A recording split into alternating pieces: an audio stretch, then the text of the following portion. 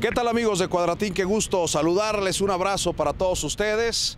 Vamos a platicar de la fiesta de los toros, vamos a hacer un pequeño paréntesis, pequeño nada más, sobre el fútbol, porque vamos a hablar de lo ocurrido en la pasada corrida en la Plaza Monumental de Morelia y en el coso del poniente de la capital michoacana con esta corrida histórica, donde se presentó el torero Navarro, el rejoneador Pablo Hermoso de Mendoza. Estuvo bien en términos generales Pablo Hermoso de Mendoza, pero erró con la hoja de Peral, con el rejón de muerte y división, y división de opiniones.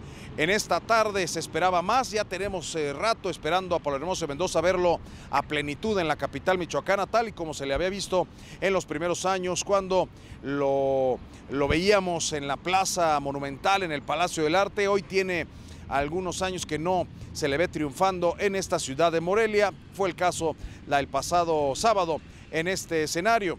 Los que triunfaron y fuerte fueron los eh, hermanos Adame. Joselito Adame estuvo bien, cortó una oreja en cada uno de sus toros, estuvo mostrando pinceladas del arte que lo ha llevado a recorrer el mundo taurino.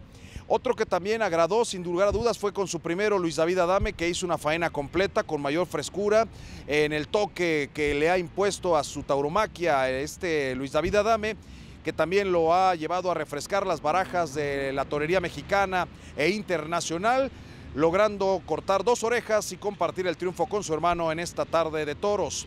El francés Sebastián Castela dio la nota grande al recibir a Hortelano de la ganadería de don Fernando de la Mora, que por cierto mandó ejemplares bien presentados, quizá este, este que estamos viendo Hortelano, el de menor presencia en la Plaza Monumental de Morelia, fue un estado que fue cómplice del francés y que mereció el indulto. Sin embargo, para nosotros nos queda claro que quizá la situación de indulto fue exagerada, no le vemos la calidad suficiente, la bravura suficiente a este hortelano.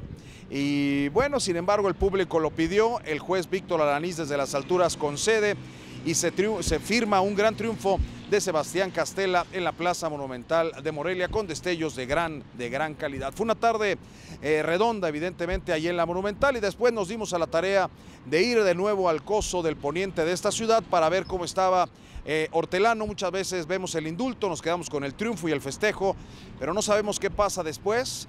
Ahí están las escenas del el toro en la corraleta de la Monumental de Morelia, ya ha recibido las curaciones de los médicos, de los veterinarios.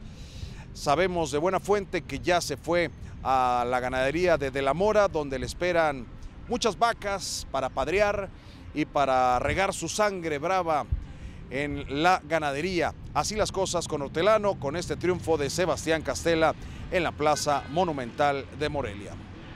Los deportes, amigos de Cuadratín, pásela de verdadero superlujo. Grupo de Oro presentó